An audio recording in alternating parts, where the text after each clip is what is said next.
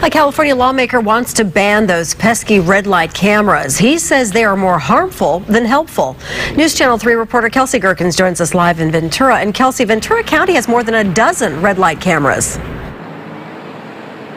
Beth, there are nearly 20 red light cameras installed in Ventura County, and five of those cameras are actually installed right here on Victoria in Ventura. But if a state lawmaker has his way, they could be banned. Every year, thousands of people receive tickets in Ventura County for running a red light, but they weren't caught by a cop, instead by a camera. If you run a red light at a red light camera intersection, you'll receive a citation in the mail. It will provide photographs as well as video evidence captured by one of these cameras. I've, I've gotten a photo ticket before, and they're, they're very expensive, and I don't think they're practical.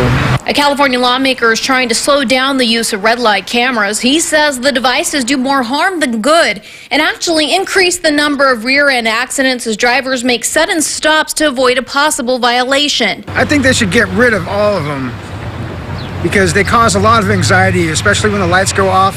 It, it's very distracting and it's very nerve wracking. The Huntington Beach lawmakers proposed a new bill that would ban new red light cameras in California. While the legislation would not get rid of the cameras that are already installed, it would require safety studies for cities that already have them.